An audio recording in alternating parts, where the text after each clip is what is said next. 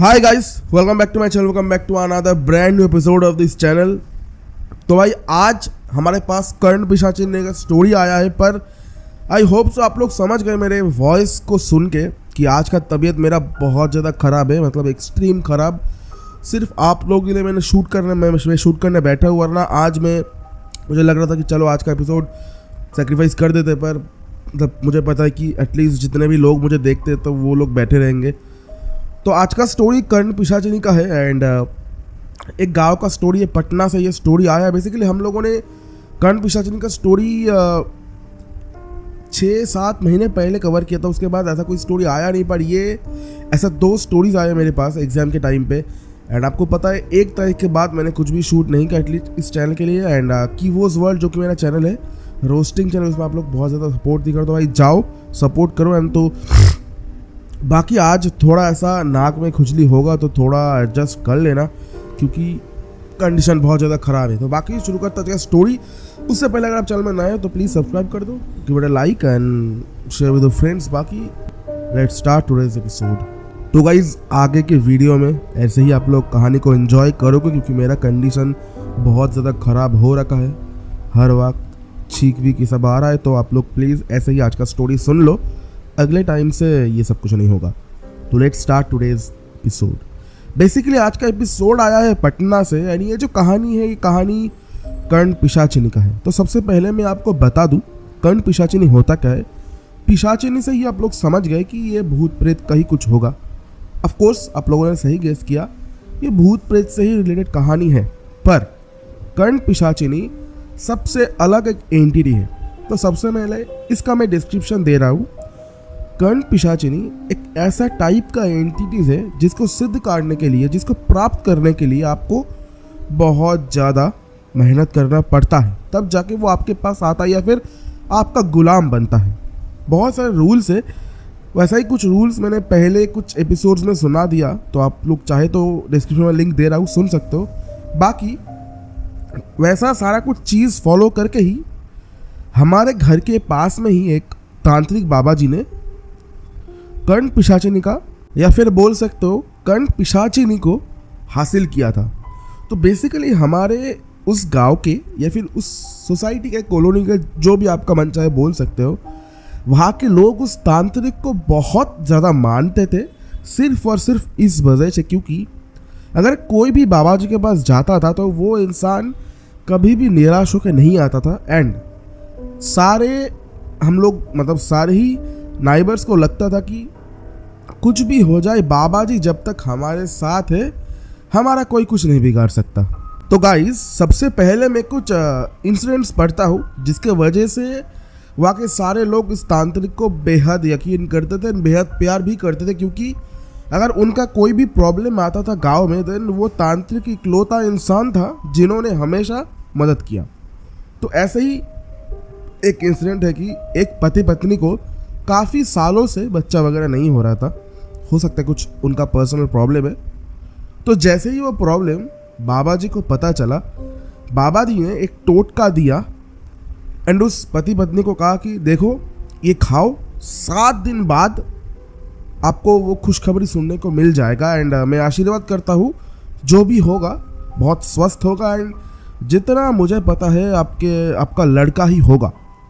तो वो सेम हुआ। ऐसे करते करते बाबा जी ने बहुत सारे लोगों का मदद किया था। अब आप लोगों को मैं बता दूँ, ये जो कहानी है बेसिकली क्यों है? जिसने मुझे ये स्टोरी सेंड किया, एक दिन उसने मतलब उनका नाम उन्होंने मेंशन करके मना किया, और उनके दोस्त ने बाबा जी के पास गए एंड बाबा जी को बोला कि, बाबा जी, आप ऐसा चमत्कार कर कैसे पाते हो? आप लोग मुझे बताओ। एंड बाबा जी जो थे ना, बहुत अच्छे स्वभाव के थे एंड बहुत नरम इंसान थे कि किसी पे गुस्सा नहीं मतलब बहुत बढ़िया, अच्छे इंसान थे। तो बाबा जी ने कहा कि देखो, मैं तुमको बता सकता हूँ, पर ऐसा है कि तुम किसी को कुछ बताओगे नहीं। तो हमने बोला, ठीक है बाबा जी किसी को कुछ बताएँगे नहीं। तो फिर बाबा जी ने कहा कि, तुमको कर्ण पिशाचिनी के बारे में पता है? तो हम लोग को सच में पता नहीं था। हम लोगों ने बोला कि बाबा जी वो क्या है? तो बाबा जी ने हमको पूरा बताया कि कर्ण पिशाचिनी क्या है, होता क्या है। तो फिर हम लोगों ने बाबा जी से कहा कि, बाबा जी, मुझे हम लोग हम लोग को आपके ऊपर यकीन नहीं, आप दिखा सकते हो? तो बोला कि हाँ एक शर्त में दिखा सकता हूँ, अगर लोग, तुम डरे नहीं। तो हम लोग ने बोल दिया कि, नहीं बाबा जी, डरेंगे नहीं, आप लोग, आप दिखाओ हमें। उसके बाद बाबा जी ने कहा कि, ठीक है, आँख बंद करो। और दोनों को बोला कि, तुम दोनों एक एक हाथ दो मेरे हाथ में और आँख बंद करके रखो। मैं क्या बताऊँ गाइस मुझे दिखा कि एक औरत जिसका फेस सच में मैं देख नहीं पाया, क्योंकि एक सेकंड का वो इल्यूजन था। पता नहीं क्या था इल्यूजन था या क्या नहीं। मैं देख कर डर गया, मैंने आँख खोल दिया।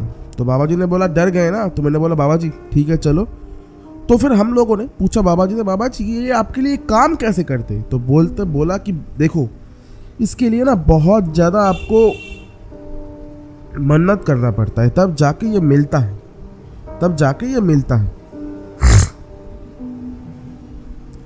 तो मैंने भी वैसा किया एंड इसी कारण ये कर्ण पिशाची ने मेरे पास आया। एंड मैं इनसे जो भी काम करने के लिए बोलता हूँ, ये आराम से मेरा काम कर देते तो हमने मतलब बाबा जी को कहा कि बाबा जी मुझे ना एग्ज़ाम में पास होना है तो मैं कर देगी? तो बोला, नहीं, ऐसा नहीं है। अगर तुम जीवन में बहुत कोई दिक्कत में हो, उसका सवाल दे देगी मतलब उसका जवाब दे देगी एंड बहुत लोगों को ये लगता है कि कर्ण पिशाचिनी फ्यूचर में जाके कुछ कर सकता है, ऐसा नहीं। कर्ण पिशाचिनी जो है फ्यूचर प्रेडिक्ट कर सकता है पास्ट के सारे काम मतलब उनको पता होता है कि ये ये होने वाला है फिर ये ये हुआ था। ठीक है मतलब फ्यूचर को चेंज नहीं कर सकते, पर फ्यूचर देख सकते हैं। तो बेसिकली तो फिर बाबा जी ने जो जो कुछ कहा हम लोगों ने सुना एंड उसके बाद हम लोग घर आ गए। सच बताओ तो मुझे अभी याद नहीं है क्या कहा था बाबा जी ने। पर ये जो इंसिडेंट जिसके कारण मैंने सेंड किया ये स्टोरी ये स्टोरी बेसिकली है कि एक दिन हमारे मतलब घर में आ, ऐसा न्यूज़ आता है कि बाबा जी का देहांत हो गया एंड बहुत बुरी तरीके से बाबा जी का देहांत हुआ। तो हम सारे देखने गए बाबा जी को। तो हम लोग जब वहाँ पे गए तो हम लोगों ने देखा कि किसी ने बाबा जी को मतलब अब समझ सकते हो मैं वो वर्ड यूज़ नहीं कर सकता। ऐसे होता है ना कि जिस रस्सी में कपड़े सुंगाते हैं, ऐसा बाबा जी का जो खाल होता है ना, वो खाल ऐसा होता है ना, खाल उधेड़ के, ऐसे लटका रखा है। एंड गाँव का बात है, पर फिर भी हम हम लोगों ने पुलिस को इन्फॉर्म किया। कुछ भी पता नहीं चला कि किसने किया, क्यों किया। उसके बाद और एक तांत्रिक बाबा जी आए थे, जो कि बोल सकते हो उनका ही बंधु, मित्र, जो भी है। तो उन्होंने बोला कि हो सकता है कि देखो ये तो मैंने पहली बार सुना है कि ये जो कर्ण पिशाचिनी होता है, इनको काम देना पड़ता है। अगर काम नहीं दोगे तो आपके ऊपर गुस्सा हो जाएगा। चाहे कुछ भी काम है तो देना पड़ता है। तो फिर बाबा जी के पास शायद कोई काम था नहीं कि कोई आ नहीं रहा था कि कुछ प्रॉब्लम के लिए। तो वो लोग बहुत गुस्सा हो गए, यानी लिमिट होता है। अगर उस लिमिट तक आप कुछ काम नहीं देते हो तो आपको ही शायद से कुछ कर देगा। तो वही सेम चीज़ बाबा के बाबा जी के साथ हुआ था। एंड बाबा जी को उन कर्ण पिशाचियों ने मतलब वो करके वहाँ पे टंगा दिया था। उसके बाद लिटरली पुलिस को भी कुछ सबूत नहीं मिला। एंड सारे गाँव वाला थोड़ा दुखी भी थे, क्योंकि वो एक अकलौता बाबा जी थे, जो हम लोगों का बहुत ज़्यादा हेल्प करता देखो, आज का कहानी मुझे पता है इंटरेस्टिंग बहुत ज़्यादा नहीं लगा क्योंकि मेरा हेल्थ कंडीशन बहुत ख़राब है, फिर से बता रहा हूँ, मेरा एकदम मूड नहीं है, बात नहीं कर पा रहा हूँ मतलब दो तीन बात करो तो वो छींक आ रहा है मतलब नाक में होता है ना थोड़ा कुछ प्रॉब्लम तो बहुत सर्दी सर्दी हुआ है मुझे। तो बाकी इतना था स्टोरी मुझे पता है आज अच्छा नहीं हुआ तो लाइक डिसलाइक आपका मर्ज़ी, जो भी है कुछ करो। बाकी सड़ने का जो स्टोरी आएगा, वो अच्छा स्टोरी आएगा। तो मिलता है आपको नेक्स्ट ऐसे वीडियो में, तब तक के लिए जय हिंद, वंदे मातरम। जय श्री राम भाई सभी को।